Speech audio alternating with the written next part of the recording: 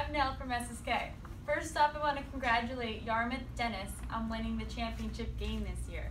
Secondly, I just want to thank all of you Cape Codders for supporting us and welcoming us when we visited you this year. And hopefully, we'll see you next year. Good luck with starting school. And keep us in mind when you're looking for some baseball stuff.